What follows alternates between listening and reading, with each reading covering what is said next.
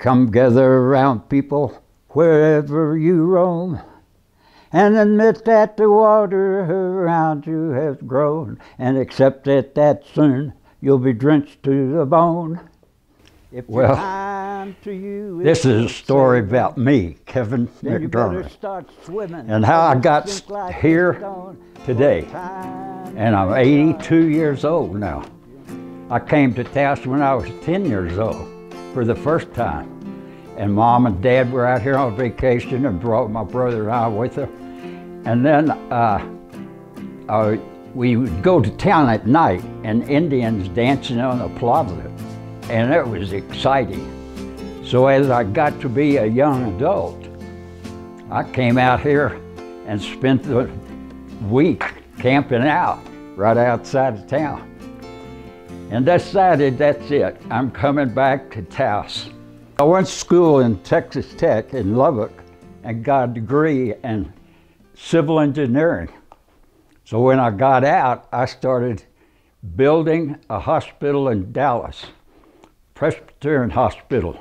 As an engineer, I laid the whole thing out. A friend of mine rolled a joint. or he smoked it. That was my engineering life in the past. I came here to visit my friend and ended up living for two years here with that commune out in Talpa. So then I became an artist.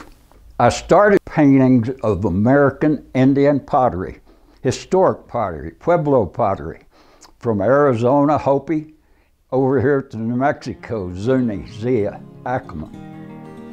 I traveled in this bus from Austin, Texas, Tucson, Arizona, Phoenix, Arizona, over to Santa Barbara, California, to LA, selling my artwork. And my artwork, I'd go to fairs or I'd go to a town and go out to the swap meet, sell my artwork there. I would sell in galleries also, and people started calling me Cabino. I was studying Spanish, yo hablo poquito español, ahorita. And so this is Casas de Cabino. Once upon a time, you're just so fine, through the bumps of time in your prime. Didn't you? People call, say, beware, down, you're bound to fall. You thought they were all kidding you. You, we used to laugh about everybody that was going out.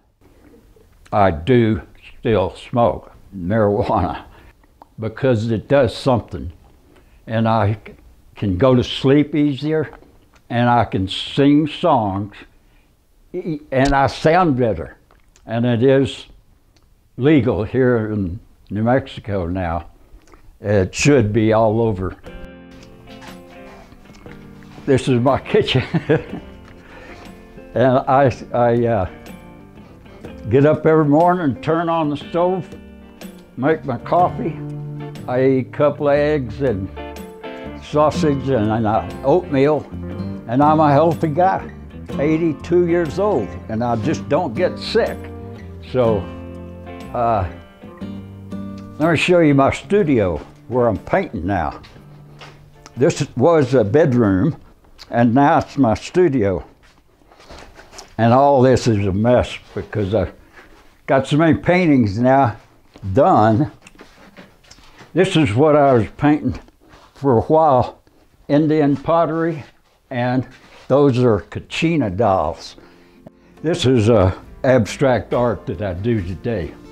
And as you can see on the wall, there's some more. I don't even think when I'm painting. I say, don't think, just do it. You know, I played guitar when I was growing up, and I started singing. I was driving out from downtown Dallas, and I heard this guy on the radio, and I turned it up. I couldn't believe it.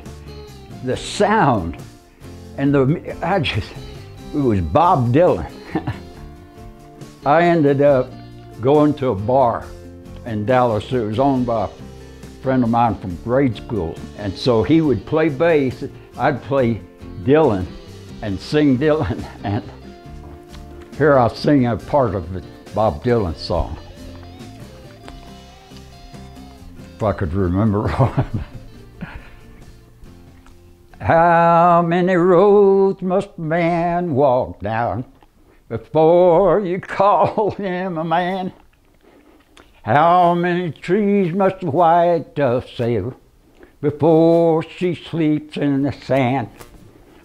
Life goes on, I got old, I don't do it anymore, I don't sing anymore, don't play guitar anymore, but it's been quite a life. And I really appreciate music, art. Everybody should be into art and music and do some every day, a little bit. It fills your. You, we used to laugh about everybody that was going out. Now you don't talk so loud. Now you don't sing so loud about having to be scrounging. You're next to meal. Ah, how does it feel? How does it feel